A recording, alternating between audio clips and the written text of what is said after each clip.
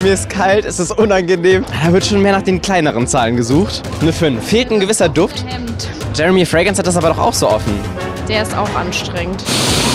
Power! Wir hatten mal wieder eine sehr dumme Idee. Wir haben Daniel bei minus 5 Grad nach draußen geschickt, um ein Pheromonparfüm zu testen. Nimm du auch nochmal eine Nase. Das sind diese Parfüms, die euch angeblich attraktiver machen. Der absolute Frauenmagnet. Du spielst mit dem Willen eines anderen Menschen und er weiß darüber gar nichts. Das behaupten zumindest merkwürdige Online-Händler wie zum Beispiel Bloom. Bei denen haben wir für 24,99 Euro dieses kleine Fläschchen hier gekauft. Und dazu gibt es bei TikTok große Versprechungen. Wo soll ich anfangen? Jeden Mann, den ich begrüßt habe, das war so ein Halt mich fest. Oder so, "Mm, hey, siehst gut heute aus. Ich glaube tatsächlich, dass es äh, unterbewusst irgendwas macht. Und du wirst überrascht sein, wie dein Umfeld dir plötzlich nicht mehr widerstehen kann. Wie Daniels Test ausgegangen ist und was die Wissenschaft zum Thema Pheromone sagt, das seht ihr in diesem Video. Daniel, hast du mal Telefonnummern mitgebracht? Von der Seelsorge. Na, immerhin eine.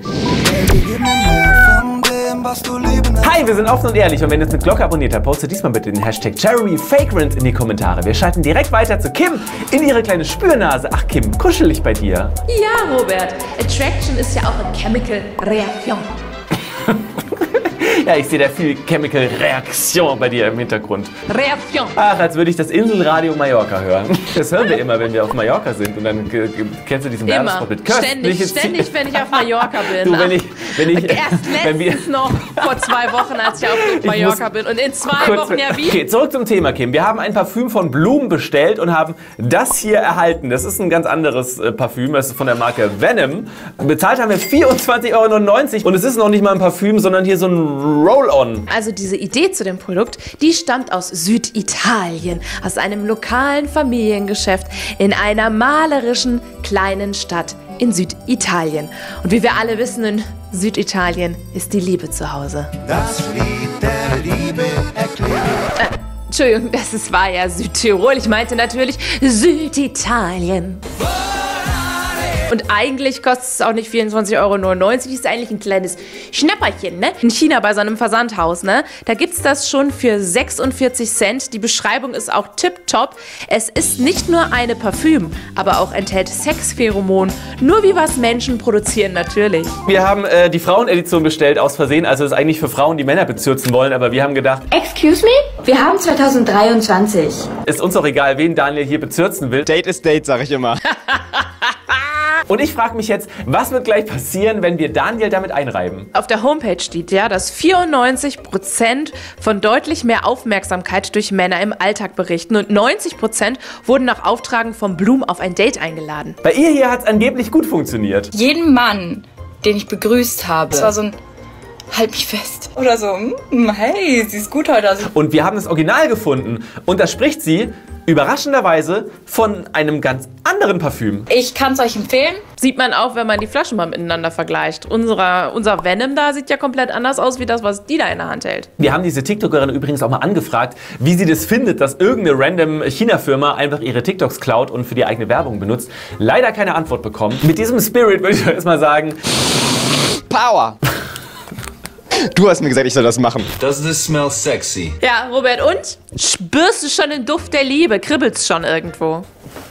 uh, No. uh, Daniel, als hättest du so einen Klostein, so, so Duftrosen oder sowas au- auf deinem Hals aufgetragen. Achso, warte, dann ist das mein normales Parfüm.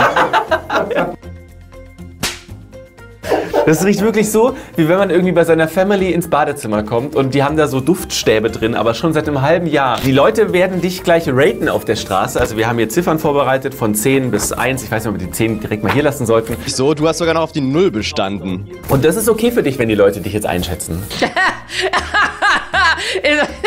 Das ist doch jetzt gar nicht mehr die Frage. Ist das okay für dich? Haben wir einfach so gemacht. Was würdest du dir denn selber geben? Ja, jetzt so ohne Parfüm ist natürlich ganz schwierig. Also, da kommen wir über die zwei nicht hinaus, da bin ich ehrlich. Daniel, du bist zu streng mit dir. Also ich würde dir für die Augen würde ich dir noch einen halben Punkt mehr cremen. Die sind so schön blau, da kriegst du von mir auf jeden Fall eine 2,5. Hey, deine Augen, Daniel, waren der Star in unserem letzten Video. Ja, das stimmt. Eigentlich sollten wir dich mit verbundenen Augen äh, äh, testen in der Fußgängerzone, weil die verfälschen komplett das Ergebnis. Mir ist kalt, es ist unangenehm. Ich finde, glaube ich, nichts daran gerade gut. Aber na klar, jetzt lasse ich mich erstmal bewerten ohne Parfüm. Können wir bitte reingehen? Hi. Wir machen ein nicht wissenschaftliches Experiment und du musst einfach nur bewerten, wie attraktiv du mich findest auf einer Skala von 0. Alles klar. Also das war eine 0, auch wenn nicht ausgesprochen. You just need to rate me how attractive I am. From 0 to 10. Power. Ich traue mich irgendwie nicht so zu schreien, weil ich glaube, das wird rausgeworfen. Power! Da wird schon mehr nach den kleineren Zahlen gesucht. Eine 5. Fehlt ein gewisser Duft. Hemd. Nee, das offene Hemd. Habe ich dafür die 5 Punkte bekommen oder Punkte abgezogen bekommen? Abgezogen. Jeremy Fragrance hat das aber doch auch so offen. Der ist auch anstrengend. Eine 8. Ich finde dich sehr sympathisch vom Auftritt her so. Eine 5. Okay, woran liegt's? Geschmackssache, würde ich sagen. Leute, können wir. Das ist all- alles, alles an diesem Dreh ist unangenehm, wirklich. Warum eine 6 nur? Also, ich meine, da wäre ja noch Platz nach oben. Ich weiß nicht. Ich glaube, es liegt am fehlenden Duft. Ja, Robert, nee, wir haben den Dreh schon konsequent durchgezogen, doch, ja. Nö, wir haben ja keine Zeit verschwendet. Wir haben jetzt einen offiziellen Zwischenstand, Daniel. Das ist hier dein Attraktivitätswert. Wir blenden ihn gerade mal ein. Was sollte gleich passieren, wenn er diesen Duft aufträgt? Daniel sollte attraktiver werden? Oha, und das soll durch Pheromone äh, passieren. Aber was genau sind denn Pheromone und wie wirken die? Das hat sich Raphael für uns mal genauer angeschaut. Pheromone kennt man vor allem aus der Tierwelt. Das sind Botenstoffe, mit denen Tiere Informationen austauschen können. Zum Beispiel beim Seidenspinnerweibchen. Das ist so eine Art Schmetterling und das Weibchen kann einen Sexuallockstoff absondern, der auch noch kilometerweit entfernt von den Männchen wahrgenommen werden kann. Die Männchen checken das dann, kommen zum Weibchen und das Ergebnis vom Ganzen ist dann Liebe. Okay, zurück zu unserem Parfüm. Da sind also angeblich Pheromone drin. Ich zitiere mal von der Website. Die enthaltenen Pheromone sind wissenschaftlich nachweisbar, maßgeblich dafür entscheidend, wen wir attraktiv finden und wen nicht. Und an der Stelle haben wir uns gedacht, fragen wir doch einfach mal einen Wissenschaftler, nämlich Professor Dr. Clemens Störtkuhl. Ich bin Professor hier an der Ruhr-Universität in Bochum und äh, wir befassen uns mit den sensorischen Systemen. Man kann also sagen, Sie kennen sich sehr gut mit dem Riechen aus. Das glaube ich ja. Ähm, auf der Webseite schreibt das Unternehmen, die enthaltenen Pheromone sind wissenschaftlich nachweisbar maßgeblich dafür entscheidend, wen wir attraktiv finden und wen nicht. Liegt es denn wirklich nur an den Pheromonen, wen wir attraktiv finden? Nein, definitiv nicht. Und es ist ja immer ein guter Verkaufsschlager, Pheromone einzusetzen, um zu sagen, man ist dann attraktiv. Und haben Pheromone irgendeinen Effekt bei Menschen oder kaum? Oder kann man es nicht sagen? Das kann man eigentlich nicht so richtig sagen, weil man bisher noch nicht den, die Pheromone identifiziert hat, die bei Menschen tatsächlich das bewirken, was so in der Parfümindustrie prognostiziert wird. Weil von dem, was ich jetzt bisher über Pheromone gelesen habe, ist es aktuell gar nicht wirklich möglich, Pheromone in so eine Flasche reinzustecken. Menschliche Pheromone zumindest. Genau, also es gibt nämlich die menschlichen Pheromone noch gar nicht, das hat das noch gar nicht richtig identifiziert. Also ist es nach aktuellem wissenschaftlichen Stand nicht möglich, dass in dieser Flasche hier menschliche Pheromone drinstecken. Ich weiß nicht, was die verwendet haben. Es wird wahrscheinlich irgendwie so Komponenten aus dem Schweiß sein, wenn überhaupt. Ähm, aber wie gesagt, davon können wir nicht ausgehen, dass das wirklich Pheromone sind. Wir haben ja eben auch im Video gesehen, wie hoch die Erfolgsquoten sind mit Blumen. 94% berichten von deutlich mehr Aufmerksamkeit durch Männer im Alltag und 90% wurden nach Auftragen von Blumen auf ein Date eingeladen. Ist das denn irgendwie nachvollziehbar für Sie, diese Werte? Nein, eigentlich nicht.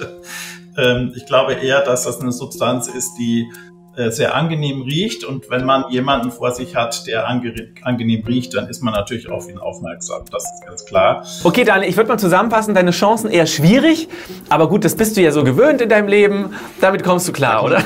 Wenn man mir Duftsteine in den Weg legt, dann steige ich drüber. Deswegen, Daniel, würde ich sagen, roll on. Ähm, also sprüh dich mal, also reib dich mal so richtig ein mit dem Zeug und gucken wir mal, ob die Leute dir jetzt ein bisschen mehr Punkte geben. Ich habe hier ein Pheromonparfüm. Ich trage das jetzt auf. Letztes Mal habe ich einen totalen Ausschlag bekommen. Okay. Macht's einen Unterschied. Das ging sehr schnell. Ähm, so ein bisschen näher kommt. Vielleicht hilft das.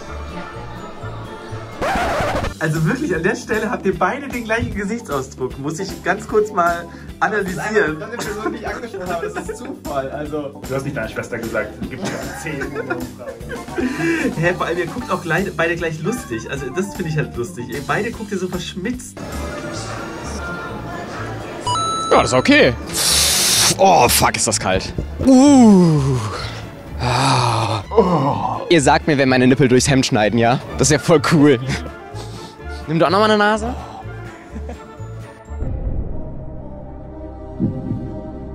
Neun. Von uns beide. Von euch beiden? Von uns beide. So eine stabile Sieben oder so wäre doch. Was würde denn fehlen zur 10? Also was ist denn nicht perfekt? N nimm noch mal einen Schnuff, komm. Ah, nee, aber. Nimm doch mal nochmal. Komm, riech doch Haare, nochmal. Haare. Oh, kommt. Oh.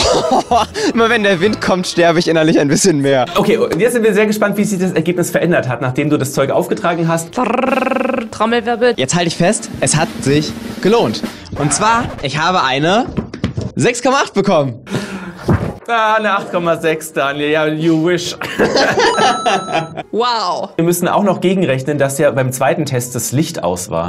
Also es war ja draußen im Dunkeln. Kann das wirklich an dem Auftragen von dem Parfum liegen, dass er auf einmal attraktiver geworden ist? Ja, das kann sein, weil das Parfum, ich kenne es halt eben nicht, hat sicherlich angenehme frische Duftnoten oder blumige Duftnoten ähm, und die äh, schlagen natürlich dann sofort in das limbische System, das ist das, das Gemütszustand, das hat dann Einfluss drauf. Und wenn irgendwas äh, dieses Ergebnis beeinflusst hat, dann war es eher der Duft von dem Parfum hier und nichts, was mit äh, Pheromon was zu tun hat. Genau. Ja, also ich würde dieses Kapitel in meinem Leben jetzt auch gerne beenden, wenn das okay für euch ist. Weitermachen, Power, Power, Power. Ich liebe euch. Bis dann. Peace. Ja, Daniel, deswegen darfst du als Belohnung jetzt noch eine Katze ansagen. Aus der Community könnt ihr uns immer schicken an offen und ehrlich sr.de. Jetzt kommt eine Community-Katze für euch. Ihr könnt noch ein anderes Offen und Ehrlich Video schauen oder ihr schaut euch quasi den Hellfire Club von Funk an. Die Würfelbande mit einem neuen Video. Über Pen and Paper. Also, verdammt, wirkt das Parfüm auch noch.